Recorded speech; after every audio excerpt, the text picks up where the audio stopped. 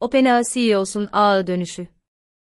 OpenAI CEO'su Sam Altman, yapay zeka için donanımın geleceği hakkında çığır açan bir açıklama yaptı. Sam Altman, CEO of OpenAI, has just made one of his most unexpected statements yet. In a recent podcast, he admitted that the computers we use today are not powerful or efficient enough to support the future of artificial intelligence.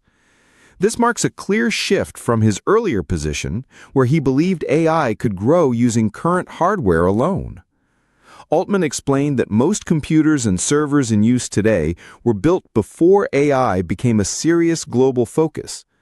These systems were never designed for the level of processing that modern AI tools demand. He said it's time to create new machines, designed specifically for the AI era.